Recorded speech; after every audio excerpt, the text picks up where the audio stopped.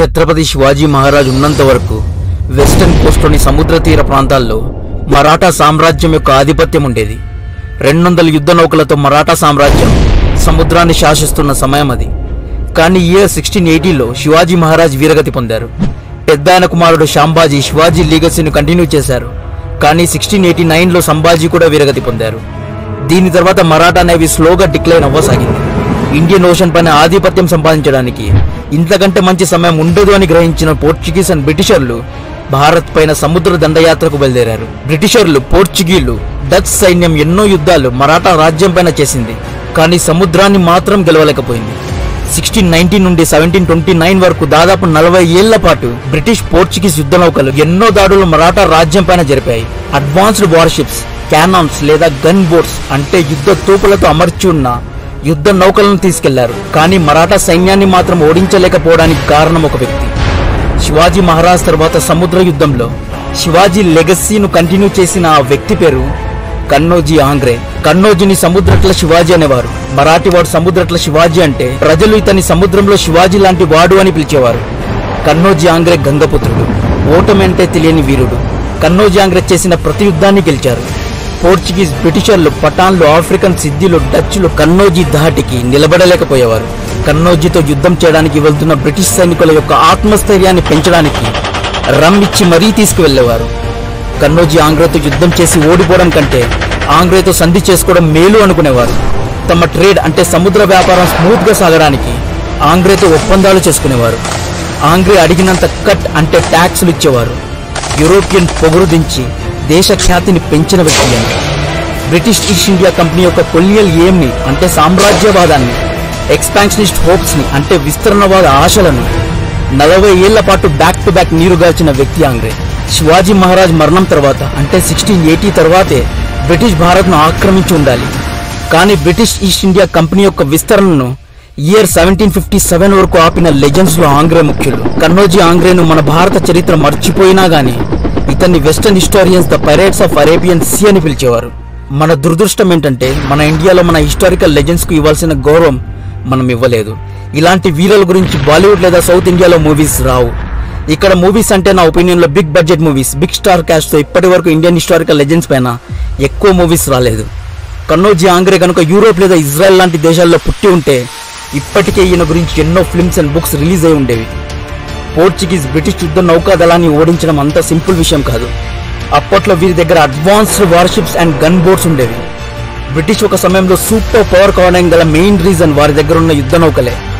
కన్నోజీ ఆంగ్రే దగ్గర ఉన్న ships Portuguese Europe ships కంటే చిన్నవిగా లెస్ అడ్వాన్స్డ్గా ఉండేవి. అయినా కూడా ఆంగ్రే నలభై ఏళ్ళ పాటు ఒక్క ఓటమి కూడా లేకుండా సముద్రంలో తన పట్టును ఎలా బిగించగలిగాడు అని తెలుసుకునే ముందు నేను మీ నుండి కోరుకునేది ఒక్కటే. దయచేసి మన వీడియోను లైక్ చేయండి.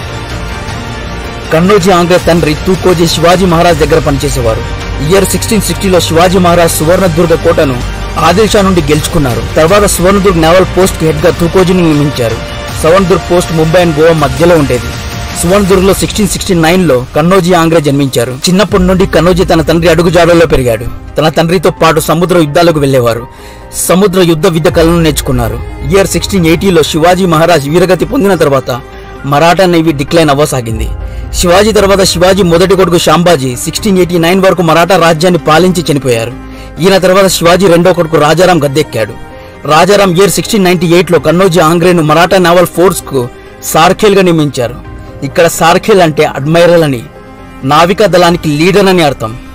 ఇరవై తొమ్మిది ఏళ్ళకే కన్నోజీ ముంబై నుండి వెంగ్రుల్లా వరకు ఉన్న వెస్టర్న్ కోస్టల్ ఏరియాకు కమాండర్ ఇన్ చీఫ్గా ఉండేవారు. మొత్తం కంకోన్ కోస్ట్ బెల్ట్కు దళపతిగా ఉండేవారు. కన్నోజీ అరేబియన్ సీలో తిరిగే బ్రిటిష్ ఈస్ట్ ఇండియా కంపెనీ యొక్క మర్చెంట్ షిప్స్ పైన దాడి చేసి మెల్లిగా అరేబియన్ సీలో మరాఠా పట్టును తిరిగి బిగించసాగాడు. కన్నోజీ సముద్ర యుద్ధ నీతి శివాజీ వాడిన యుద్ధ నీతిలాగే ఉండేది. కన్నోజీ చిన్న చిన్న షిప్స్ సహాయంతో బ్రిటిష్ పోర్చుగీస్ యొక్క పెద్ద పెద్ద షిప్స్ పైన సర్ప్రైజ్ అటాక్ చేసేవారు. శత్రువు రియాక్ట్ అయ్యేలోపే కన్నోజీ షిప్స్ పెద్ద పెద్ద షిప్స్ పైన ఎక్కి దోచుకుని వెళ్ళిపోయేవి కన్నోజీ దగ్గర చిన్న షిప్స్ బట్ చాలా ఫాస్ట్గా నడిచే షిప్స్ ఉండేవి. ఈ షిప్స్ను గ్రాప్స్ అండ్ గ్యాలివెన్స్ అని పిలిచేవారు. యూరోప్ గుండెల్లో Kanhoji pirate of Arabian sea అయ్యాడు. ఇక్కడ పైరేట్ అంటే సముద్ర దొంగ అని అర్థం. బ్రిటిష్ పోర్చుగీస్ దేశాలు కన్నోజీని సముద్ర దొంగ అని పిలిచేవారు. కానీ భారత్ కన్నోజీ ఆంగ్రే శత్రువు నుండి సముద్రాన్ని కాపాడే వీరుడు సముద్ర దళపతి. ఇయర్ సెవెంటీన్ నాట్ సెవెన్లో కన్నోజీ బాంబే అనబడే అతిపెద్ద ఈస్ట్ ఇండియా షిప్ను ధ్వంసం చేసి యూరోప్ దేశాల హిట్ లిస్ట్లో చేరాడు. ఈ ఇన్సిడెంట్ తర్వాత బ్రిటిష్ ఈస్ట్ ఇండియా కంపెనీకి అర్థమైంది కన్నోజీని ఆపడం అంత ఈజీ కాదని. ఇయర్ సెవెంటీన్ టెన్లో Kanhoji East India Company ship అయిన గోడాల్ఫిన్ షిప్ను ధ్వంసం చేసి అప్పటి వరకు బ్రిటిష్ ఆధీనంలో ఉన్న కండేరీ ఫోర్ట్ను గెలుచుకున్నారు. తెల్లోలని తన ఆర్మీలో పెట్టిన ఘనత కూడా కన్నోజీకి దక్కుతుంది. కన్నోజీ ఆర్మీలో యూరోపియన్స్ పనిచేసేవారు. డచ్ దేశానికి చెందిన ఒక జనరల్ కన్నోజీ ఆర్మీలో పనిచేసేవారు. మరాఠాలోని కొన్ని అడ్వాన్స్ షిప్ను డచ్ దేశానికి చెందిన సైనికులు నడిపేవారు.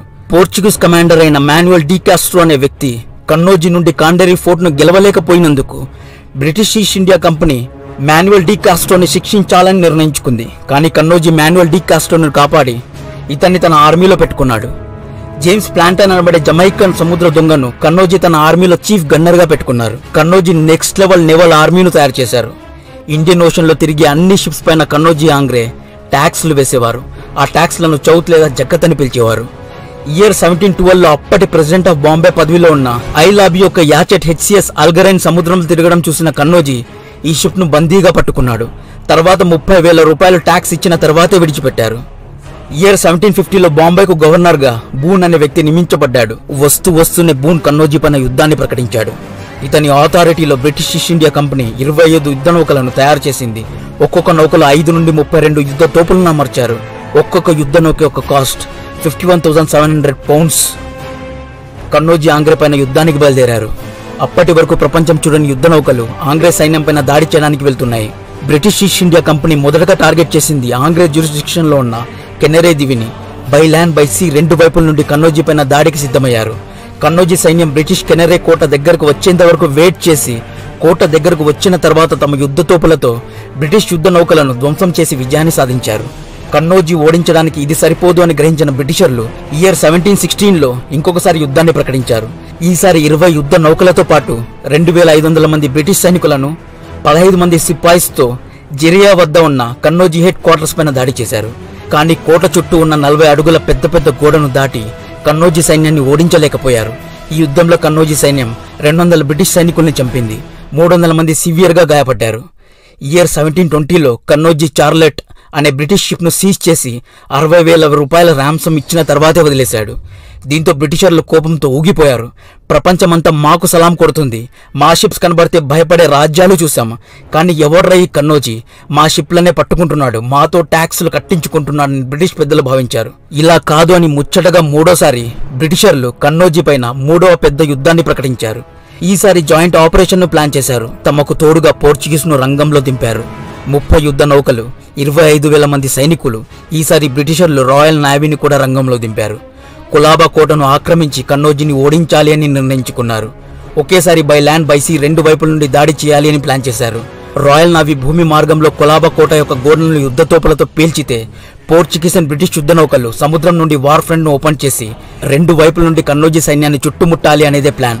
ప్లాన్ ప్రకారంగానే చేశారు. కానీ కన్నోజీ అటాక్ను ముందు నుండే తెలుసుకొని మరాఠా రాజ్యం నుండి ఇరవై ఐదు వేల మందితో కూడిన హ్యూజ్ ఆర్మీని పిలిపించి శత్రువులకు వెల్కమ్ చెప్పించారు. యుద్ధంలో వన్ సైడ్ కన్నోజీ ఆంగ్రే గెలిచారు. ఇయర్ సెవెంటీన్ ట్వంటీ టూలో కన్నోజీ కార్బార్లో ఉన్న బ్రిటిష్ ఫ్యాక్టరీ బేస్ పైన అటాక్ చేశారు. తమ ఫ్యాక్టరీ బేస్ను కన్నోజీ సైన్యం నుండి కాపాడడానికి బ్రిటిషర్లు తమ యొక్క యుద్ధ తోపులైన విక్టోరియన్ రివెంజ్ను రంగంలో దింపారు. యుద్ధంలో కన్నోజీ డచ్ కమాండర్ చనిపోయాడు. కన్నోజీ యొక్క పదహారు షిప్స్ కూడా ధ్వంసమయ్యాయి కానీ కన్నోజీ యుద్ధాన్ని మాత్రం ఆపలేదు. యుద్ధాన్ని అలాగే కంటిన్యూ చేశారు. లాస్ట్లో యుద్ధాన్ని గెలిచారు. ఇలా ఓటమేంటే తెలియని వీరుడిగా కన్నోజీ ఆంగ్రే చరిత్రకెక్కారు. కన్నోజీ పైన చేసిన అన్ని యుద్ధాలు విఫలమవ్వడంతో ఓటమిని అంగీకరించి బూన్ తిరిగి బ్రిటన్కు వెళ్ళిపోయాడు వెస్టర్న్ హిస్టారియన్ రాసిన ఎన్నో బుక్స్లో కన్నోజీ ఆంగ్రే గురించి ప్రస్తావించారు. కన్నోజీ నుండి గెలవడం కంటే కన్నోజీతో సంధి చేసుకొని టర్మ్స్ అండ్ కండిషన్ మాట్లాడుకొని మూసుకొని మన వ్యాపారం మనం చేయడం బెటర్ అని బ్రిటిషర్లు అనుకునే స్థాయికి తీసుకువచ్చిన వ్యక్తి కన్నోజీ ఆంగ్రే. కన్నోజీతో యుద్ధం చేయడానికి వెళ్తున్న బ్రిటిష్ సైనికుల యొక్క ఆత్మస్థైర్యాన్ని పెంచడానికి రమ్ ఇచ్చి తీసుకెళ్ళేవారు అని హిస్టారియన్ అనిరుద్ దేశ్ పాండే రాశారు. ఫోర్త్ జూలై సెవెంటీన్ ట్వంటీ నైన్లో కన్నోజీ సహజ మరణం చెందారు. ఈయన సమాధి అలీబాగ్ శివాజీ చౌక్లో నిర్మించబడింది. ఈయన మరణం తర్వాత కమాండ్ కన్నోజీ కుమారుల చేతికి వచ్చింది. కానీ కన్నోజీ లెగసీను కంటిన్యూ చేయడంలో కుమారులు విఫలమయ్యారు. ఈయనకు గుర్తుగా ఇండియన్ నేవీ ఇండియన్ యొక్క వెస్టర్న్ నేవల్ కమాండ్ పేరు ఐఎన్ఎస్ ఆంగ్రే అని పెట్టింది. ఏది ఏమైనా కన్నోజీ ఆంగ్రే పాల్గొన్న ఒక్క యుద్ధంలో కూడా ఓడిపోలేదు. And rest is history. The pirates of Arabian Sea Kanhoji.